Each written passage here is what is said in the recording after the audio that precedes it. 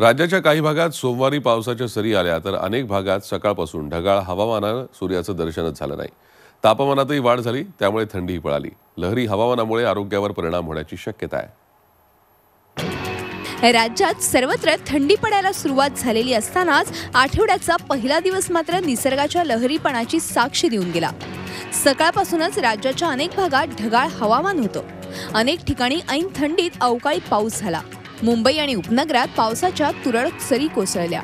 त्यासोबत रायगड पुणे नाशिक जिल्ह्यातही पाऊस झाला.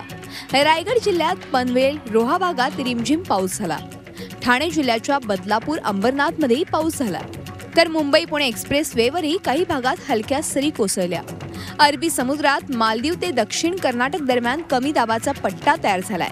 त्यामुळे राज्यातल्या तापमानात वाढ झाली आहे पुढील तीन दिवस दक्षिण कोकण गोवा दक्षिण मध्य महाराष्ट्र मराठवाड्यात तुरळक ठिकाणी पाऊस पडण्याची शक्यता वर्तवण्यात येते जो कर्नाटकचा जो किनारपट्टीचा भाग आहे त्याच्यामध्ये त्याच्याबरोबर पण एक सिस्टम तयार झाले त्याचाच परिणाम म्हणून मध्य महाराष्ट्रामध्ये कोकणामध्ये काही ठिकाणी आणि मराठवाड्यामध्ये पण काही ठिकाणी तुरळक स्वरूपाचा पाऊस पडण्याची शक्यता हवामान विभागाने येत्या अठ्ठेचाळीस तासासाठी वर्तवलेली आहे. अरबी समुद्रात निर्माण झालेल्या कमी दाबाच्या पट्ट्यामुळे तापमानात वाढ होणार आहे.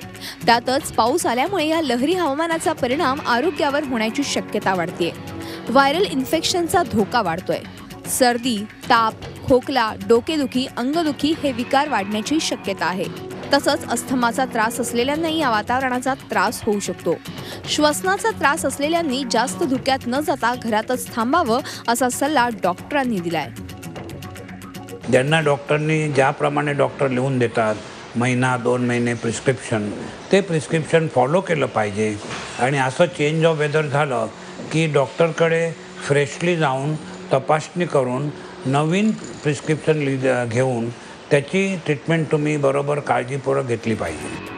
ऐन थंडीत पावसाच्या सरी कोसळल्यामुळे स्वेटर घालावा की माळ्यावर टाकलेली छत्री बाहेर काढावी असा प्रश्न तुम्हालाही पडू शकतो. विनोदाचा भाग सोडला तरी सध्याच्या या लहरी हवामानात तुमची तब्येत सांभाळा हे महत्वाचं ब्युरो रिपोर्ट झी मीडिया.